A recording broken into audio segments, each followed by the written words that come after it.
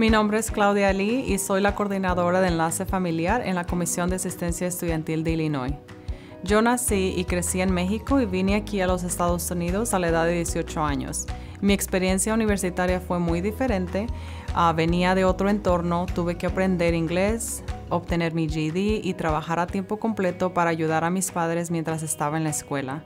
Todo esto me hizo las cosas muy difíciles ya que ninguno de mis padres completó la escuela primaria y siempre me sentí sola a la hora de tomar decisiones relacionadas con mi educación.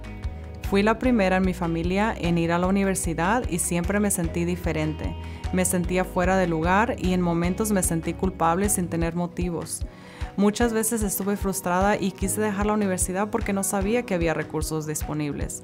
Afortunadamente, con el apoyo emocional de mi familia y los recursos que más tarde encontré en mi universidad, pude completar mi carrera. Algunos estudiantes de primera generación pueden experimentar lo que se conoce como el síndrome de impostor, en el que les da ansiedad y dudan de sus habilidades o muchas veces pueden sentirse diferentes o fuera de lugar.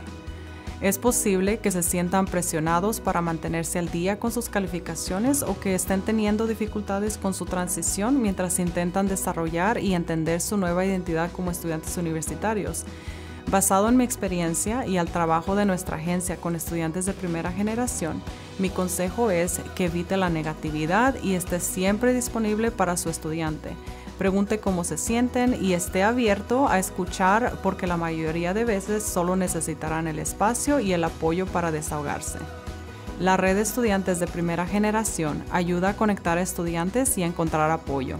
Estudiantes pueden visitar el portal estudiantil de ISAC, studentportal.isac.org barra inclinada First Gen.